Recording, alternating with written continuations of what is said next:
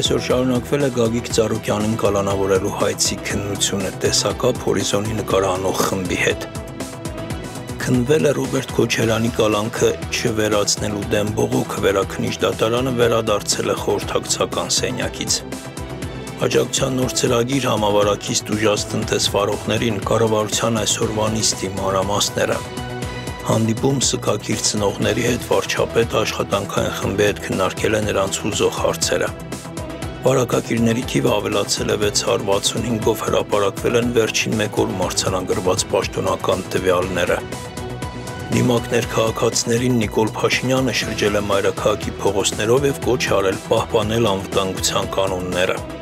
Ռուսաստանում ավելացել է կորոնավիրուսից մահացած բուժաշխատողների թիվը մեկ ամսում այն 100-ից հասել է 500-ի։ Բոլթոնն ընդդեմ Թրամփի Միացյալ Նահանգների նախագահի նախկին խորհրդականը աղմկահարույց բացահայտումները հրապարակել Սպիտակ տան ղեկավարի մասին։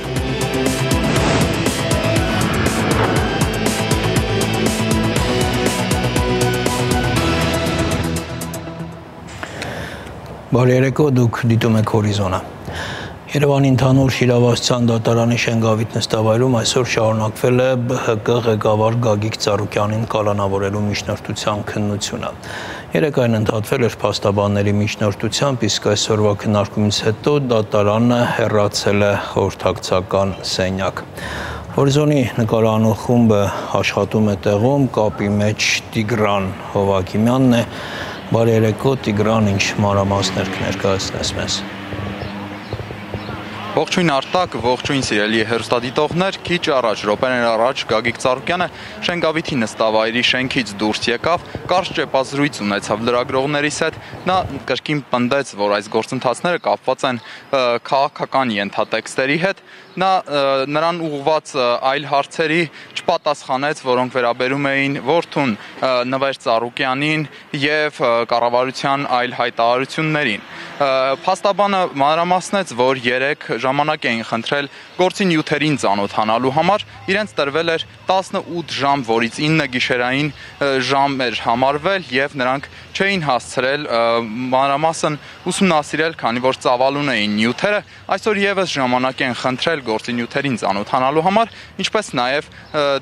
ինքնաբացարկի դիմում են ներկայացրել եւ դատանը հերացել է խորհրդակցությունների սենյակ։ 2-ից 3 ժամ հետո կունենանք նորություններ։ Այստեղ ամեն ինչ խաղաղ է, ոստիկանները շարունակում են հորդորել հավաքներ չկազմակերպել, դրակողներին հորդորում են պահպանել սոցիալական հեռավորություն եւ ուշադրություն են դարձնում, որ เป զի բոլորը կրեն դիմակներ։ Այսօր տուգանվեց Գագիկ Ծառուկյանի վարորդը, ով առանց դիմակի էր կանգնած դատարանի բակում։ Արտակ այլ մանրամասների վերաբերյալ խոսենք ժամեր անց։ Շնորհակալություն Տիգրան։ Քրեական վերաքնիչ դատարան այսօր երրորդ դատական նիստում բավարարել է Ռոբերտ Քոչարյանի պաշտպանների բողոքը ընդհանուր հիրավասության դատարանի որոշման դեմ։ Հիշեցնենք Աննա Դանիբեկյանը մայիսի 13-ի նիստում մերժել էր Ռոբերտ Քոչարյանին գրավով կամ անձնական երաշխավորությամբ ազատելու կորոնավիրուսի համավարակով պայմանավորված կալանքը վերացնելու պաշտպանների միջնորդությունները։ Դատարանը որպես խափանման միջոց կիրառել է գրավը 2 միլիարդ դրամի չափով։ Աշխատող ուսանողների եկամտահարկը կուղվի նրանց վարձավճարներին։ Կառավարությունը այսօր սահմանել է մասնագիտությունների ցանկը։ Գործադիրի մեկ այլ որոշմամբ, եթե գյուղում բնակվողը նաև վարձ ու աշխատող է, ապա նրա երեխայի նպաստը կլինի կրկնակի շատ, այսինքն 53000 դրամ։ Ամեն դեպքում այս անգամ էլ կորոնավիրուսի հետ կապված խնդիրները զգալի հատված կզբաղեցնեն կառավարության աշխատանքում հայտարարություններից մինչև աջակցության նոր ծրագիր։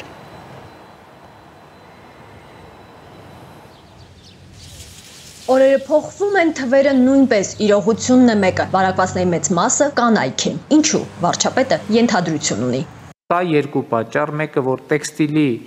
ոլորտից եկողներ, բայց վաղեմի սովորություն կա Երևանում, երբ որ շքամուտքերում սուրճի ըմպումներ, սուրճախմություն է կազմակերպում Գեղեցիկ կոլորիտային սովորություն է, բայց ոչ այս օրերի համար։ Երբ դիմակ կրելու, սոցիալական հեռավորություն պահելու, տարածք ու ձեռքեր ախտահանելու անհրաժեշտության մասին անընդհատ է ասվում։ Իդեպ գործված ու ասեղնագործված հագուստի, կոշիկի ու պայուսակի հետ համադրված դիմակների որակի մասին։ Պարզվում է, ավելի շատ սելֆիների համար են պիտանի։ ԱՀԿ-ն ասում է, որ եթե 60-ից բարձր ես եւ խոցելի խմբում ես, պարտադիր կդիր բժշկական դիմակ երաշերտ, որը պաշտպանում է ջրի կաթիլները դուրս գալ եւ ներս գալուց արտաշնչելիս եւ փրշտալիս կամ հազալիս։ Այստեղ դարձյալ բժշկական դիմակների գների հարցն է առաջ գալիս։ Տնտեսական մրցակցության պաշտպանության պետական հանձնաժողովի նախագահը թե նոր խմբականակը երբ ստանանք, մեկի գինն արդեն 70-ից 75 դրամ կլինի։ Դրանք ստերիլ փաթեթավորված են, նաև հարմար են օգտագործման տեսանկյունից Առաջ անցանք էլի կորոնավիրուսի թեման շարունակելով։ Հակաճգնաժամային 20-րդ միջոցառման հարցներ օրակարգում. աջակցությունը այս ոլորտների համար է։ Հյուրանոցային եւ հյուրատնային ծառայություններ, հանրային սննդի ծառայություններ, զբոսաշրջային ծառայություններ, նախադպրոցական կրթություն,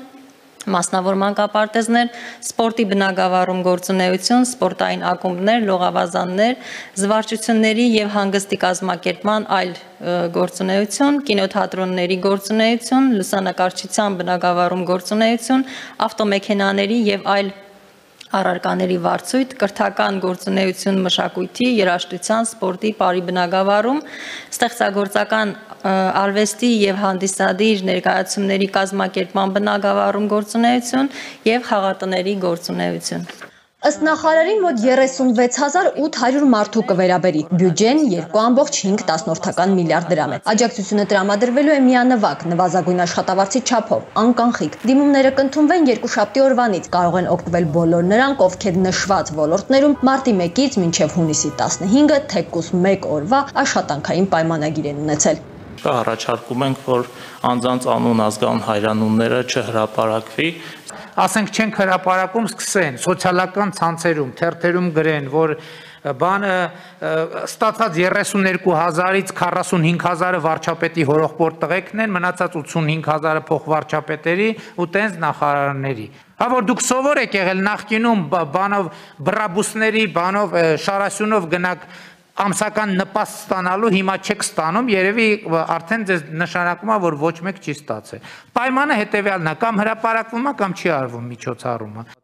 Փաշինյանն ասելիքն այսպես հստակեցրեց. խնամի ծանոթ բարեկամով ցուցակում հայտնվել այս դեպքում չպետք է գործի։ Եթե մեծահարույց չի, ինչու պետք է խուսափի, որ անունը հրապարակվի։ Հետո պետք է ողջվեր, որ իրականում այլ ընտրանք չկա է։ Էլեկտրոնային դիմումը առանց անուն ազգանունը հրապարակելու համաձայնության ավարտական տեսքի չի բերվում։ Վարչապետն ամեն դեպքում ել ավելի թափանցիկ աշխատելու հորդորեր անում, ավելացնելով այն, որ հանրության մի ստվար զանգված չի հավատում, որ Հայաստանում կորոնավիրուսից մահացած վերակենդանացման բաժանմունքում գտնվող հենց հարևանությամբ հիվանդ մարդիկ կան, անձնական տվյալները սրբորեն պահելու հետևանք է։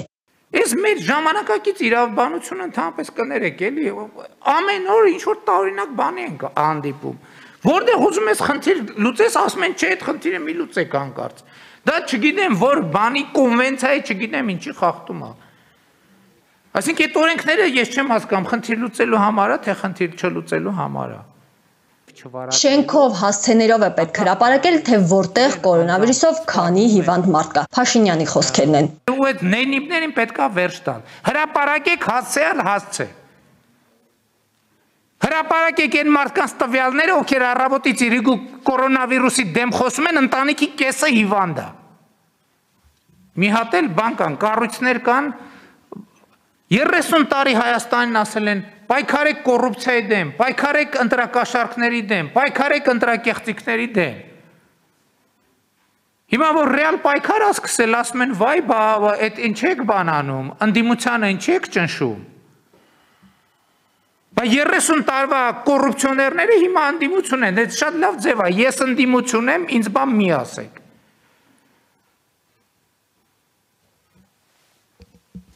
Ու ընդհանրապես պետք է այս հարցերում կողմնորոշվել։ Որ ուղղությամբ գնում ես, parzվում է սխալ է։ Հյուսիս գնա սխալ է, հարավ սխալ աշխարհակահաղական նկատի չունեմ։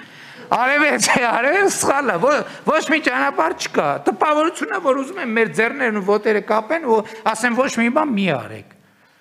Արտակարգ դրությունը պետք է արտակարգ միջոցներ ձեռնարկվեն։ Նախագծին դեմ արտահայտվողներ չկային։ Որոշումն ընդունվեց։ Արփիշ Քեսյան, Հորիզոն դրմփա Վարչապետ Նիկոլ Փաշինյանը հանդիպել է զոհված ինձեռայողների ծնողների հետ։ Վարչապետի օգնական եւ զոհված ինձեռայողների իրավահաջորդների ներկայացուցիչը ներկայացրել են համատեղ այլընտրանքային քնչական խմբի ձևավորման ուղղությամբ կատարված աշխատանքները։ Համատեղ խումբ ստեղծելու պայմանավորվածություն էր ձեռք բերվել վարչապետի եւ զոհված ինձեռայողների ծնողների հետ մարտին կայացած հանդիպման ժամանակ։ Հերավար քննարկումներով մշակվել է խմբի գործնեության աշխատակարգը։ Նախատեսվում է ձևավորել աշխատանքային խումբ, որը կուսումնասիրի ընդհանուր առմամբ 8 քրեական գործ։ Մեր պայմանավորվածություններ, որ դուք պետք է ներկայացնեք ձեզ համար վստահելի փաստաբանական խումբ եւ իմ կողմից նույնպես ներկայացված պետքա լինեն եւ այդ հարցերի պատասխանը պետքա ստանանք։ Եվ շատ կարեւոր է այս աշխատանքային խմբի համար, որ เป զի մենք տեղապտույտի վիճակի մեջ չհայտնվենք, շատ կարևոր է, որ իսկապես մենք մի պահ կամ աշխատանքային խմբին հնարավորություն տանք, որ เป զի իրենք կտրված գործեն մեր ունեցած կարծիքներից, համոզմունքներից, մեր մտածածից եւ ցանկությունից։ Եթե այսպես չլինի, օրինակ ես մտածում եմ մեր ամենամեծ ռիսկը ո՞րն է հնարավոր ռիսկերից մեկը օրինակ եթե եթե ինձ ներկայացնող մարդիկ որոշեն որ իրանք պետքա նախաքննության վարկածը պաշտպանեն միջև վերջ անկախ փաստերից եւ ծնողներին ներկայացնող մարդիկ որոշեն, որ իրանք չէ, պետքա անկախ փաստերից պետքա ծնողների առաջ քաշած վարկածը պաշտպանեն։ Սա մենք խնդրեմ ոչ ոչ միայն չենք լուծի, այլև կխորացնենք։ Արդյունքում կստացվի, որ մենք այսքան աշխատեցինք, աշխատեցինք ու արդյունքի չհասանք։ Ես հույս ունեմ, որ դուք ձեր մեջ կա անբեկանելի համոզմունք, որ ինձ համար ճշմարտությունից ավելի բարձր արժեք այս իրավիճակում գոյություն չունի։ Ես էլի եմ ասում, եթե ձեր մոտ թեկուս 0.1% կասկած կա սրա հետ կապված, ավելի լավ է մենք այս process-ը չսկսենք։ Ես պատրաստ եմ ընդունել ցանկացած ճշմարտություն։ Եվ մեզնից յուրաքանչյուրը ինչ եմ այսպես անում, որ ես չգիտեմ ինչ արնելու վերջը ճշմարտություն, բայց մեզնից յուրաքանչյուրը պետք է այսպես տրամադրվի։ Վերջին մեկ օրում հաստատվել է կորոնավիրուսային հիվանդության 665 նոր դեպք, առողջացել է 746 մարդ, արձանագրվել է 7 մահ։ Այսպիսով վարակվածների ընդհանուր թիվը 18698 է, առողջացածներին է 7560, մինչ օրս մահացել է 309 մարդ։ Այսօրվա դրությամբ փաստացի բուժում է ստանում 10728 պացիենտ։ Ընդհանուր առմամբ կատարվել է 89992 թեստավորում։ Նախորդ օր արձանագրվել է նաև մահվան երկու դեպք, երբ պացիենտների մոտ մահը վրա է հասել այլ հիվանդության պատճառով։ Այդպիսի դեպքերի ընդհանուր թիվը 101 է։ Երևանի փողոցներում վարչապետ այսօր դիմակներ է բաժանել քաղաքացիներին, Փաշինյանը կոչարել դիմակ չկրել ձևի կամ չտուգանվելու համար։ Հակահամաճարակային կանոնները խստորեն պահպանողներին էլ վարչապետը շնորհակալություն է հայտնել դիմակում եք, անպայման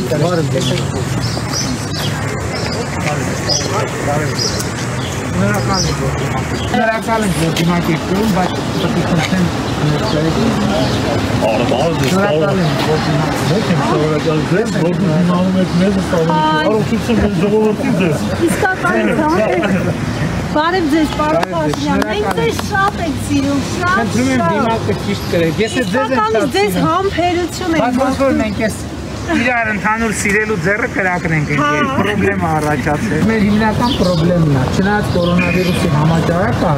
բայց երկում չգիտես ինչի տոնի մտնոլորտ կա։ Որպեսզի լուծում ասում, այս մեր հիմնական խնդրեմն է։ Ես մեր հիմնական խնդրեմն է։ Իհարկե լավ է որ երկրում տոնի մտնոլորտ կա, ամենայն դեպս ինչ որ ես եմ տեսնում, բայց կարող է խնդրեմը տևա, որ մենք Դե մի բան, այս այս ուրիշ բան կա։ Մարդիկ քայլում են, երբ որ ծանոթի են տենում, դիմակի չասում են նոր են խոսում։ Ընդհակառակը ժողովուրդ ջան։ Պետք է առանց դիմակի խնդրում եմ շատ ուշադիր եղեք, շատ ուշադիր եղեք։ Հանուն ձեր առողջության, հանուն ձեր։ այդ բոլոր դիմակները ձեզ 3 ժամը մեկ փոխեք եւ ինձ կրեք, որ ձեր թփակի։ Հիմա այս կհանեք սրա մեջ երկու հատ է։ Մի հատը կհանեք կտնեք, մի հատը պահության։ Պահի, դրանց գտած։ Չէ, չէ, դուք պահեք, բոլորը կօգտագործեք։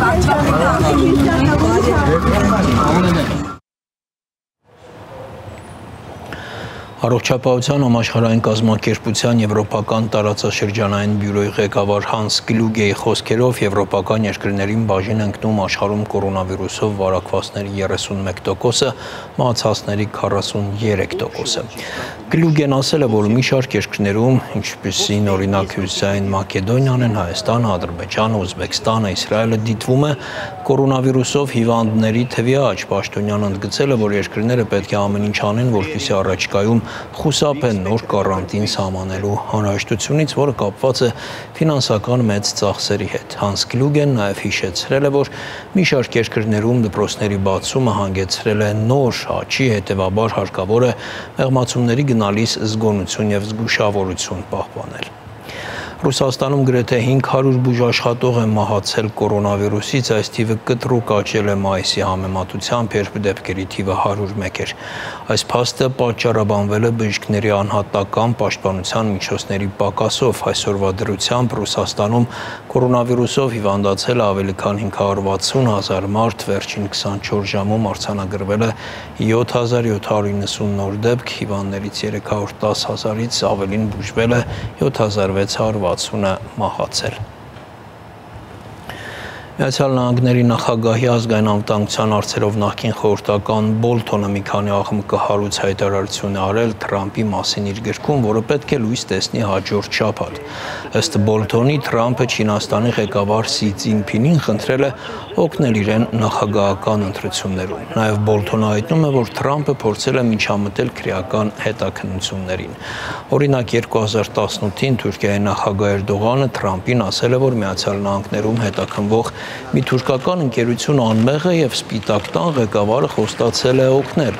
Ըստ Բոլտոնի Թրամփը չգիտեր, որ Մեծ Բրիտանիան օրինակ միջկայուն պետություն է։ Նաև կարծում էր, թե Ֆինլանդիան Ռուսաստանի մաս է։ Թրամփը հայտարարել է, որ Բոլթոնը իր գրքում գաղտնի տեղեկություններ է հրապարակել։ Միացյալ Նահանգների իշխանությունները դիմել են դատարան պահանջելով արգելել գրքի հրատարակումը, պնդելով, որ այն սպառնալիքի տակ է դնում ազգային անվտանգությունը։ Անհայտ անձը այսօր Մոսկվայում հրազենով սպանել է 24-ամյա կնոջ, նրա 3-ամյա երեխային եւ սպանված կնոջ ընկերուհուն, իսկ որոշ աղբյուրների տեղեկացմամբ երեխայի տատիկին։ Նախնական տեղեկություններով նա նաև հետո ինքնասպան է եղել։ Նոր մանրամասներ կներկայացնենք մեր հաջորդ թողարկումներում։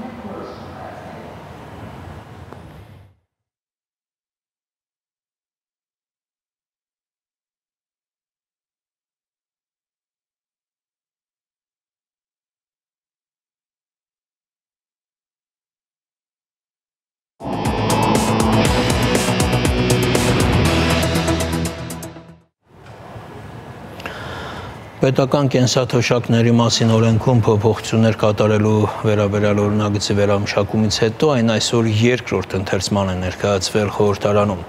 Հիշեցնենք, այս օրինագծով առաջարկվում է պետական կենսաթոշակների վճարումը իրականացնել անկանխիկ եղանակով, ինչին ընդդիմությունը դեմ էր։ Փոփոխություններից հետո եւս Լուսավոր Հայաստանի падգամավորները խնդիրներ են նշել օրինագծում։ Անհրաժեշտ է ընդհանուր գործընթացը կենսաթոշակների անկախիկ վճարման ընդհանուր գործընթացը այն ինչ նախատեսվում է առաջարկվում է օրենքով ուրեմն ամբողջությամբ 6 ամսով ուրեմն երկարաձգել այդ 6 ամսվա ժամանակային տեղափոխումը չի լուծելու ոչ բանկոմատների, ոչ էլ էլեկտրոնային կարգով վճարումներ անելու խնդիրը։ Մի շատ հետաքրքիր առաջարկ է արվել այս ընթացքում։ Ես հիմա խոսքս ուղում եմ ձեզ սիրելի падգամավորներ։ QR կոդով մեզանից քանիսն է գնումներ կատարում Երևանում։ Այս նախագծով 1-2։ Այս նախագծով մենք 70 տարեկան տատիկին կամ պապիկին ասում ենք QR կոդով, որպես այլընտրանք կարող ես ձեր գյուղի բուտկայից գնում կատարել կամ կանխիկացնել որոշ գումար։ QR կոդի պահը ասեմ, որ դա ոչ թե ինչպես գործընկերներս նշեցին, դա ոչ թե պարտադրանք է, այլ հնարավորություն։ Եղդանը միջնաշխարհիկ վայր է, որտեղ ապրում է մինչև 90 հոգի քաղաքացի, մեծ մասը կենսաթոշակառու։ Ինչ է կարծում, քանի բանկոմատ կա այնտեղ։ Կարծում եմ պատասխանը ձեզ հայտնի է։ Իսկ Ջիլիզայում, որտեղ մոտարապես 50 հոգի մարդ է ապրում, 90-50, նայած որ վիճակագրությունը նայենք, Գիտեք, քանի անգամ վերջի անգամ երբ է տեղից օրինակ տրանսպորտ գնացել մոտակա քաղաք, որտեղ կա համապատասխան ենթակառուցվածք անկանխիկ թոշակ ստանալու։ Այս նախագիծը ուղիղ համեմատական է ուրեմն այս ենթակառուցվածքի ձևավորմանը եւ այսպես ասեմ կարող է բավականին լուրջ ստիմուլ տալ ուրեմն բանկային համակարգին, որpիսի նա այսպես հա, քանի որ տեսանելի է նաև պետական քաղաքականությունը նաև իր զարգացման այսպես ծրագրերը համապատասխանեցնի առաջարկվող իրավակարգավորումներին։ Առաջ այսքանը կհանդիպենք ժամը 20-ին։